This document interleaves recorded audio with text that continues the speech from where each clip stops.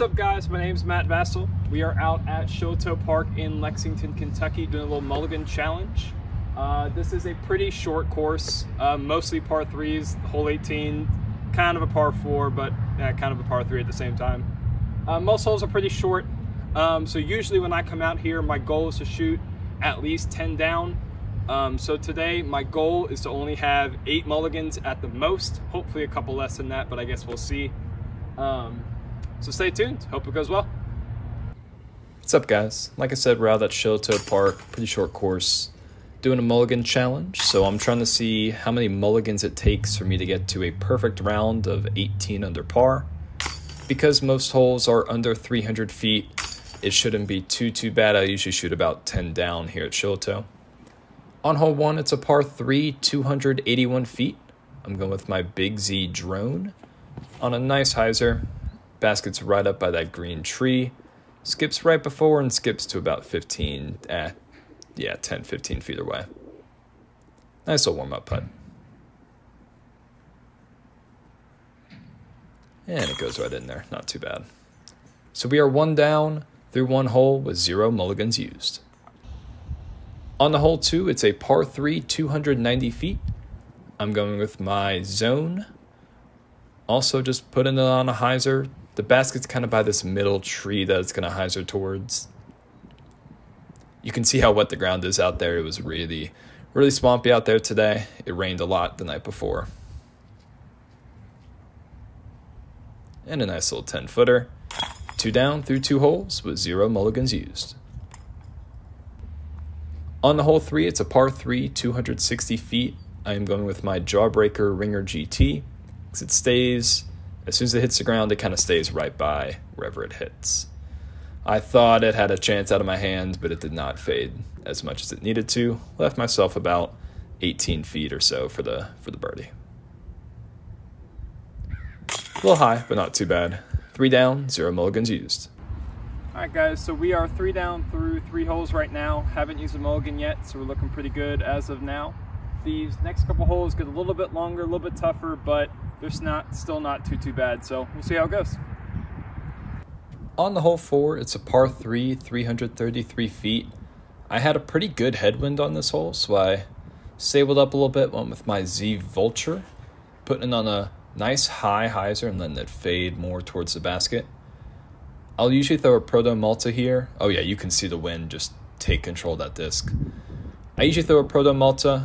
Um, I, I, like that Buzz Malta range for this this distance, but with that headwind, I wanted to play it safe, especially with that hill behind me.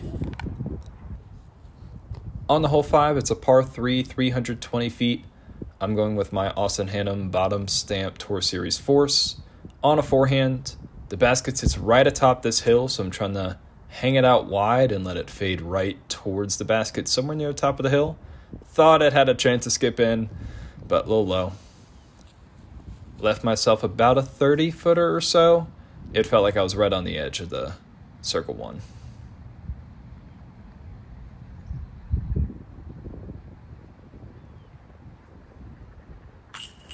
It's kind of a lazy putt. High left side's never where you want to miss. Uh, that hill behind me kind of got in my head, even though it doesn't matter for a mulligan challenge. It just kind of was in my head a little bit, but there goes my first mulligan. But I made the correction. A little more right, let the disc do the work and fade in. On the hole six, it's a par three, 317 feet. Uh, it's not too long, but it's just making sure you hit that gap with a little bit of flip up. Also had a headwind here, so I went with my Proto Ulibarri signed Zeus or Proto Kong. Flips up nicely, lands about 30 to 35 feet or so away.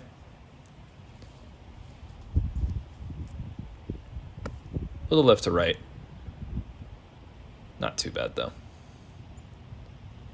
Still felt like I was on the edge of the circle for this putt. And I missed in the exact same spot I missed on the last hole. Not the best feeling, but gotta make that correction. No more high left side.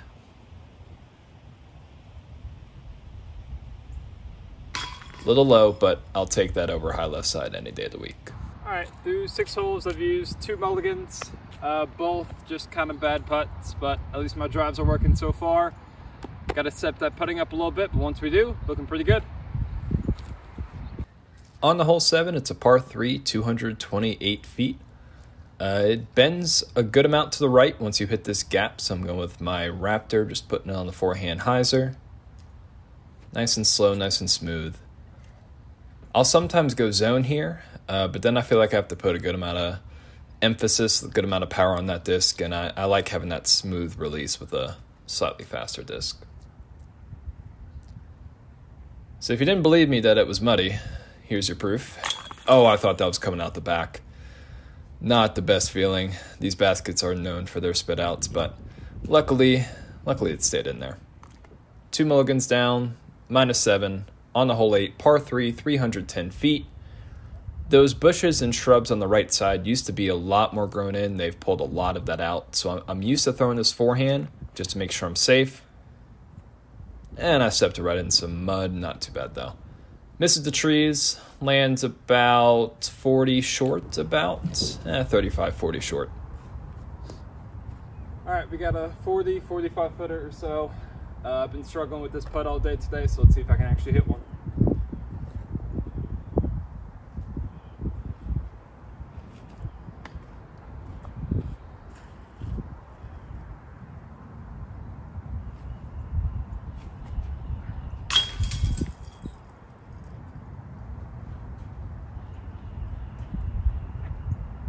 Oh well. It's dead center. Felt good. Can't be mad about that putt. Let's try it again.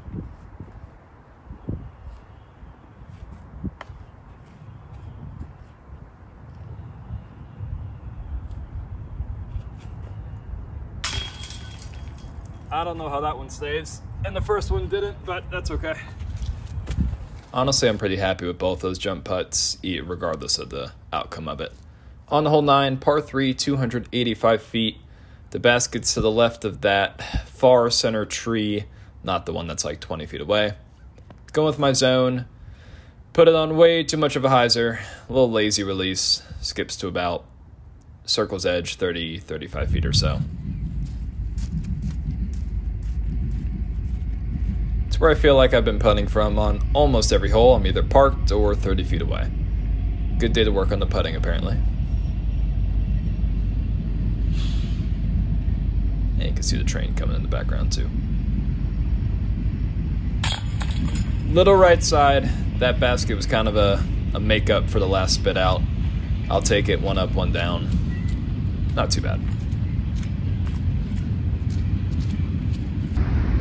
Alright guys, so we are nine holes down.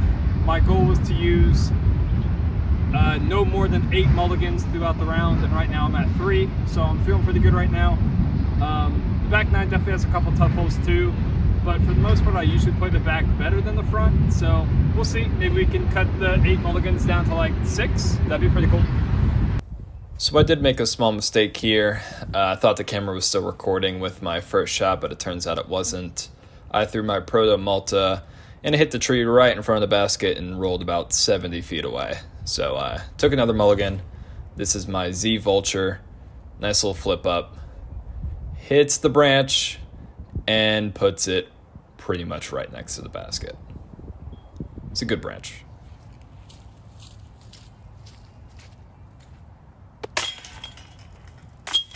Ten down, four mulligans used. Still feeling pretty good. Hole 11, par 3, 156 feet. This hole's really short, but it's all about how you land on the green. So I'm going with my Big Z Luna, putting it on an Annie, having it fade back I want it to land as soft as it possibly can because discs tend to land and go 100 more feet on this hole. The soft ground definitely helped me on that too.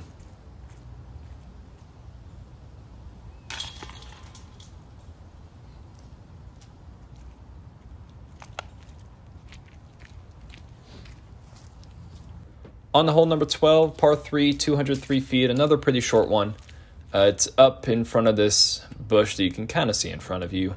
Going with my forehand zone, just kind of treating it like it was an approach shot on a longer hole. Nice and soft, nice and smooth, just putting on a hyzer. Lands about 25, 30 feet long or so. It's kind of a stressful putt. This one had a decent amount of headwind too. It's kind of hard to tell. But I, I felt pretty good after that putt. That one felt really good.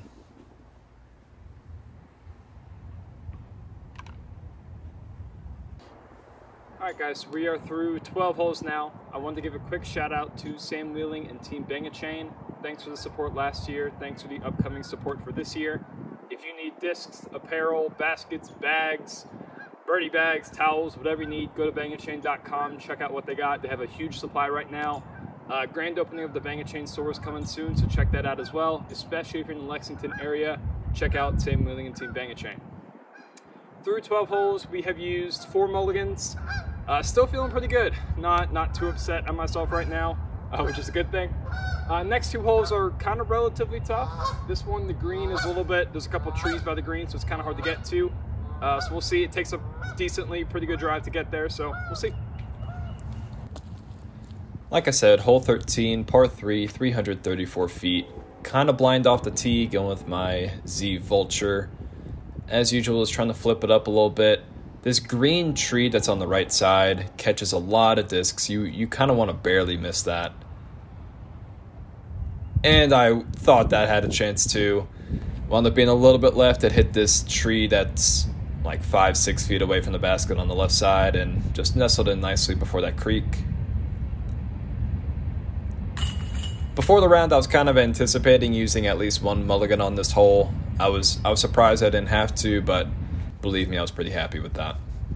On the 14, par 3, 232 feet. Once again, it's not the distance, it's more the shape of the shot. It kind of forces this anhyzer with a stable disc, so I'm using my Raptor. This was another hole that I surprised myself on. It's a hole that I feel like I get about 50% of the time, maybe. Uh, this is a good way to show kind of what the hole's like. There's three different gaps the short, the middle, and the long gap. Takes a little bit of luck, a little bit of skill at the same time. I usually go for the long gap on the left side because it's a little bit bigger. Uh, and you can kind of see where my disc landed. It kind of makes sense that it went through the long gap. 30 feet, straddle putt, round the tree. And I, I was really happy to make that one too. My putting's felt a little bit off, but that, that's a good confidence booster. On the hole 15, par 3, 273 feet. Still with my Raptor. I, I like that disc quite a bit. Trying to go flat, a little bit of hyzer. You can see the basket right to the left of that second tree from the right. And it nestles in nicely. Oh yeah, you can hear that wind too.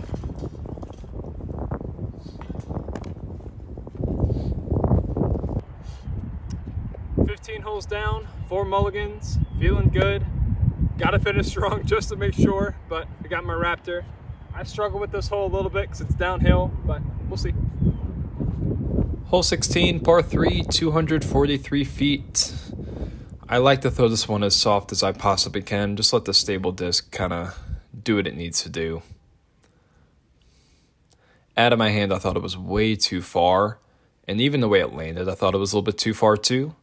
So I brought two putters with me, thinking it was going to be like across the creek a little bit, but I wound up, I think it just hit the trees, the bushes to the left, and kind of stopped. I was pretty happy about that too. Good fortunate break.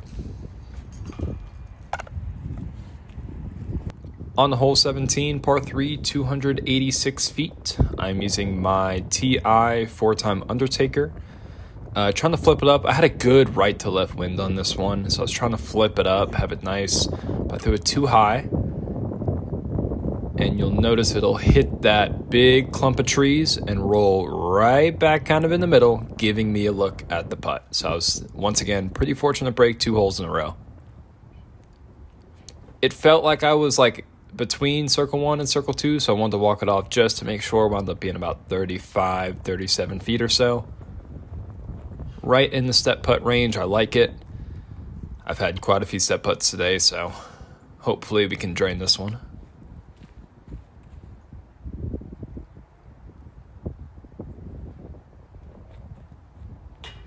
And honestly, I'm kind of okay with that. I made the correction from before where I was missing high left. I'd rather miss right, just making that correction from before. So there goes another mulligan. That's my fifth one I've used so far.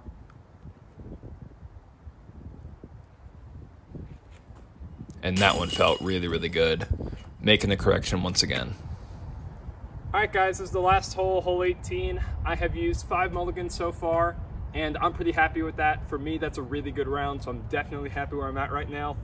Uh, I've had good drives, haven't really approached too much because they're all par threes, um, and pretty good putts for the most part, but that's always something I can work on. Uh, these kind of videos, this is the first one I've done so far, uh, but be on the lookout, go ahead and hit that subscribe button if you liked what you saw so far. I'm gonna be doing different challenge videos, mulligan challenges, uh, putter only rounds, forehand versus backhand rounds where I'm taking the worst shot, uh, disc comparisons, all kinds of stuff. So if you like what you saw, hit the subscribe button, see what's coming out soon. This last hole, hole 18, some call it a par three, some call it a par four. Um, if I play it as a par three, I'm probably not gonna toot it for a really long time. I think I've tooted it twice and they're both from pretty good throw-ins um, but it's a really easy par four. So hopefully I can stick at five mulligans to end my round, but using my Proto Kong, Proto Zeus, Ulibarri stamped on it, or Ulibarri signed on it. Let's see how it goes. Hole 18, par 4, 447 feet. This first shot, honestly, as long as you put it somewhere in this field, straight, yeah, I mean, you want to be a little bit more right than I'm going right now, but it, it's not too off I hung it out there way too far, but we'll see. I'd rather be about 50, 60 feet shorter than that. That way, these trees, even though they're small, I would just rather not have to think about them. Um, but I'm going my zone for my approach. It this feels like it could be a tee shot on this course. It's about the same length as most of them. Um, just old hyzer, pitch up. Felt good. Should be a nice, easy way to end my round, Oh, yeah. There it is, 18 down, five mulligans. All right, guys, that was a pretty good round. Five mulligans used for the perfect round. I'm definitely happy with that. I reached my goal of less than eight. Uh, like I said, hit the subscribe button if you like what you saw, and be on the lookout for more videos. See you next time.